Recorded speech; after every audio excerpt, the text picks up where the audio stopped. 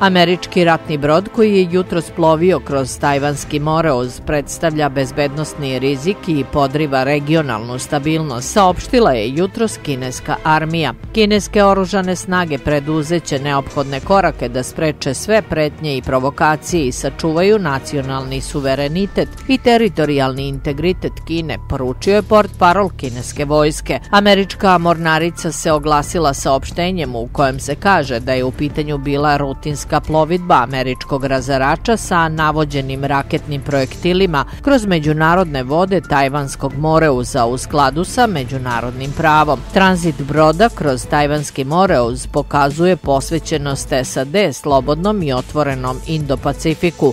Vojska SAD leti plovi i deluje svuda gde to međunarodno pravo dozvoljava, dodaje se u saopštenju mornarice SAD.